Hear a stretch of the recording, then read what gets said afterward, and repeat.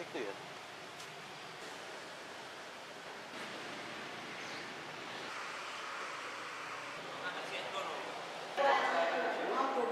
Demikian karena masa akhir jabatan beliau sampai dengan 24 nanti sehingga kita toleransi sampai tanggal 25. Ada berapa bu yang sudah dikembalikan? Kurang lebih 6 atau 7 gitu loh.